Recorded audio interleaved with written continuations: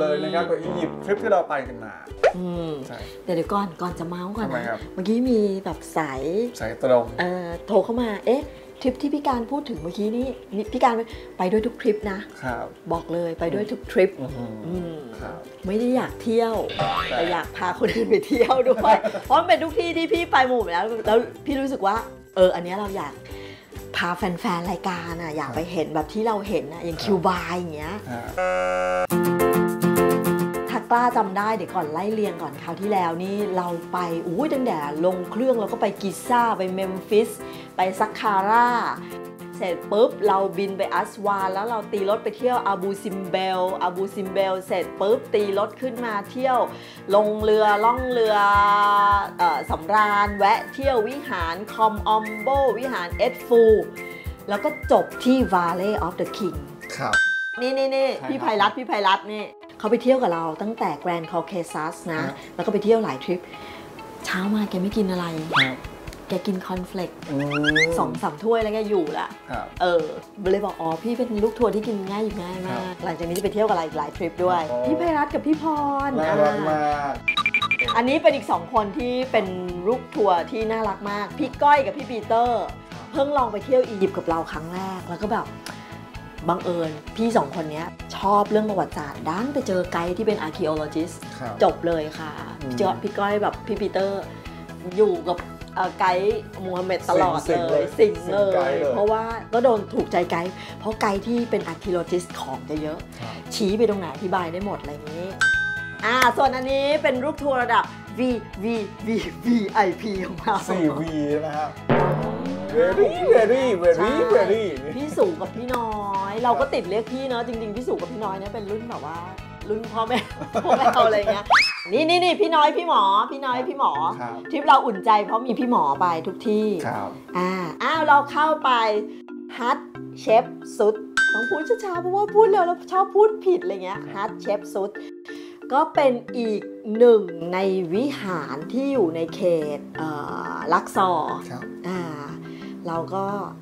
ลูกทัวร์เราสวยงามเห็นไหมเราแบบจับผูกพงผูกผ้าอะไรกันแบบว่าไม่เพราะอุปกรณ์สำคัญเลยนะ ดูดูแดดดูแดครัดบนี่ขนาดเป็นแดดแบบว่าช่วงฤดูหนาวนะครับเรายังรู้สึกเลยว่า มันก็มีถ้ารังคนสีไปเที่ยวเดือนกรกฎาสิงหาทำยังไงเนี่ย คงเดินกันจักรยานเปียก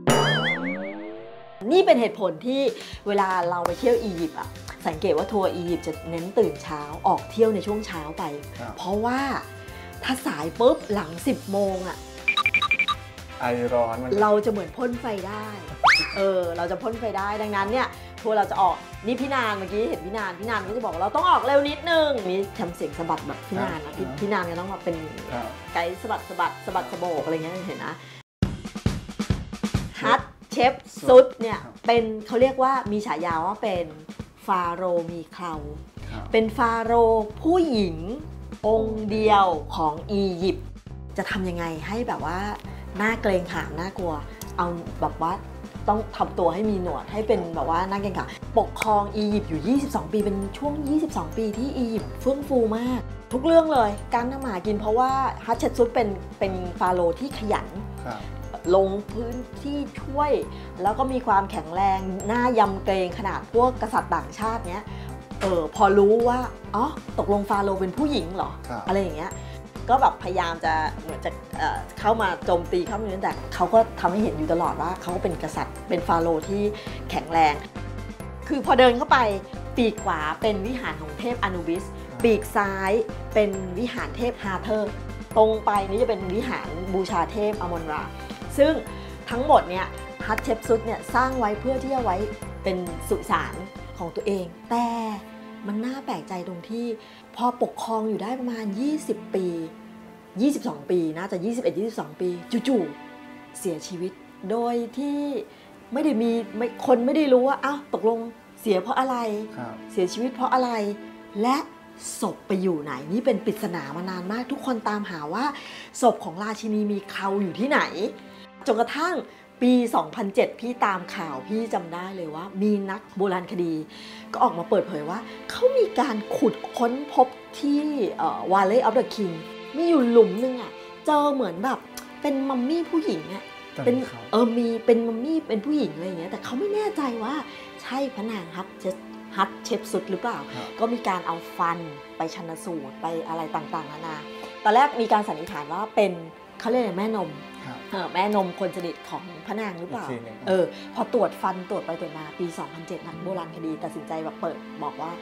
น่าจะเป็นศพที่ผู้คนตามหามาตลอดหลายปี คือคนเฝ้าถามว่า แล้วตกลงอะศพของพระนางอยู่ที่ไหนครับพระนางตายเพราะอะไร เออแล้วทำไมอยู่ๆแล้วศพทำไมคนหาไม่เจอมาเจอปี 2007 ก็เลยสันนิษฐานว่าที่หนึ่งในหลุมที่วาเล่อาราคิงคือเป็นศพของอืม เป็นร่างของพระนางฮัตครับฮัตเชฟเชฟซึกแต่เออชวนคิดนะพี่ เพราะว่าเขาอุตส่าห์ทำสุสานไว้แล้ว ใช่ แต่มันไปอยู่ตรงนั้นอยู่ตรงวาเล่แล้อยู่ดีก็ไแต่ตรงวาเล่สดับคิงมันมีทุกไอ้นี่เลยอืไงมแล้วกษัตริย์องค์ต่อไปเป็นใครยังไงอะไรอย่างเงี้ยอืมชวนคิดเหมือนกัน ใช่ แต่นี่ก็คือเรื่องราวของพระนางเอ่อฮัตเชปสุดซึ่งบอกว่า โอ้โห ถ้ามีเวลานะ เฉพาะปีกขวาก่อนตรงตรงเอ่อเขาเรียกอะไรวิหารที่บูชาเทพอนุวิสที่หัวเป็นสุนัขกลัวจะพูดจาไม่เรียบร้อย เดี๋ยวจะแบบว่าใช่อ่าคือทางขวาเนี่ยภาพเขียนสีเนี่ยอธิบายเรื่องราวความยุคที่พระนางเนี่ย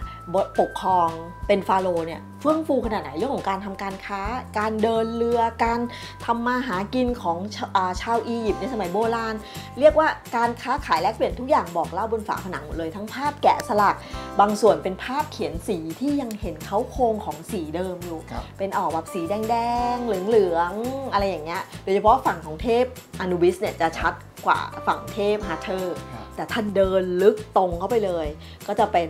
บูชาวิหารตรงกลาง ซึ่งใหญ่ก็จะวิหารเทพอมุนรา ซึ่งเป็นเทพที่สำคัญของเมือง เมืองธีบส์ซึ่งเป็นเมืองโบราณของที่นี่อะไรอย่างเงี้ยเห็นไหมดูสิเห็นไหมบนฝาผนังยังแบบว่ามันมีสีอยู่แล้วใช่ตามเสานี่ก็มีตามเสานี่ก็จะบอกเรื่องราวเลยว่าแบบทวยเทพเรื่องราวของเทพองค์ต่างๆพี่ยังคุยกับพี่การนอกรายการอยู่เลยว่าโอ้โหถ้าวันที่มันสมบูรณ์แบบเนาะแล้วเราเดินเข้าไปอะโอ้โหมันคเรางดูแบบสิบางมุมอะนะคนลุกเขาเรียกอะไรนะเขาใช้โดรนยิงขึ้นไปอะครับแล้วเรารู้เลยว่าโห